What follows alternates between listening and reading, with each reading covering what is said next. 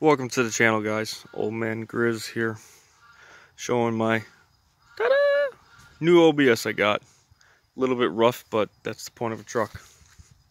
1993 F-150 300 inline 6 auto two-wheel drive. Good daily driver. Good work truck. When I bought it had a uh, camper. Came across. Still have it. Trying to sell it. Crank out windows Bought that at a junkyard. Should have a video, just go in more detail about that. Probably take these running boards off later.